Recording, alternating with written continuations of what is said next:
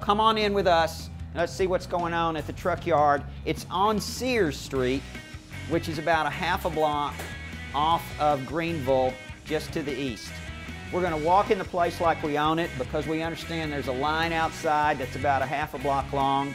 And we're going to see if we can walk past the, uh, uh, the attendant there that's monitoring how many people come in and out, see if we can get in there and film the place, and hopefully we'll be successful. Joanne, I just ran into you over at the Old Crow over on Greenville, and you told me about this place called the Truck Yard just around the corner. What a great place. We just went in there, they let us in, and uh, I guess it's because you're so important and you were in there filming before. yeah, um, I happened to be into the um, truck yard before I met you, ran into you. When I ran into you, I said, you must go there.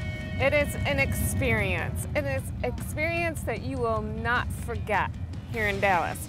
It, it is a, a yard with trailers and junk.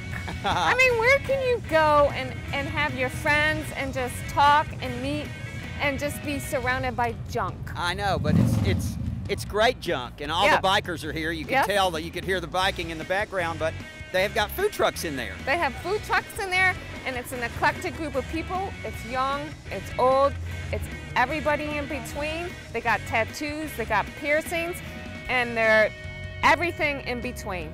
And and the people are lovely. And we all get along. We do. Yes. I, I loved it. The experience was great. Um, the people were awesome, and the bartenders. They are awesome, I must say.